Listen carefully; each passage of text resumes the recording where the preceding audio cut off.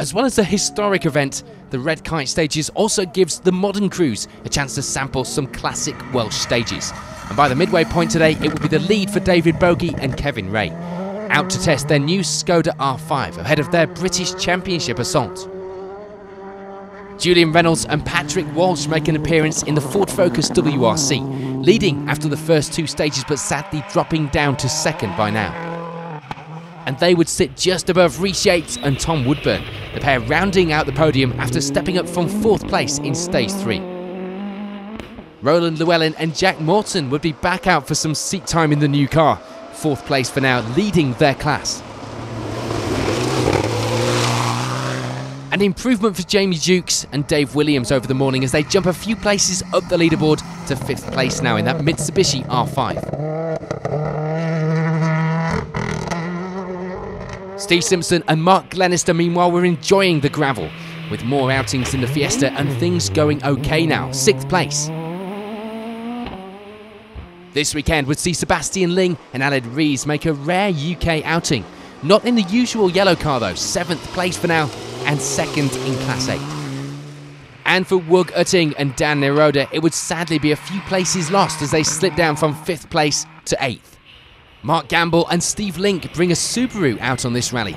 They end the morning in ninth, despite almost throwing it away with a crash on stage three. And rounding out the top 10 were Kevin Davies and Dale Bowen, leading Class 5 by a considerable margin by now, too. Midway through the red kite stages then, and the results are looking like this so far. On to the second half of the rally then, and there's changed through some of the top 10, with Adam Bustard and Aaron Johnston now rounding that out in 10th.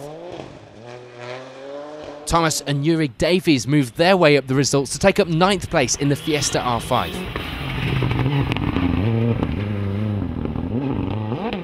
No change though for Wug Utting and Dan Neroda, unable to make back any places, but they also crucially don't lose any, ending the rally with 8th place on the leaderboard.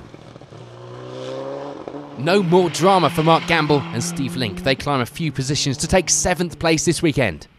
And no change for Steve Simpson and Mark Glenister. A steady run would see the pair end the rally with sixth place. A good run here in Wales.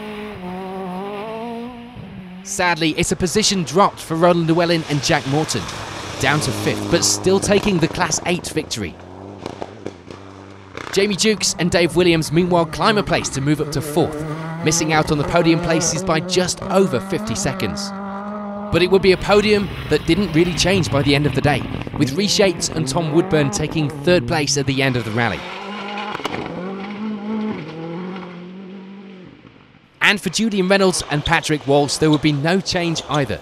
They reached the end of the day with the runner-up slot. But that does mean it's a successful test for David Bogie and Kevin Rae, taking the lead early on and claiming victory here on that debut in the car. So at the end of an action-packed Red Kite stages, here's a reminder of the final results.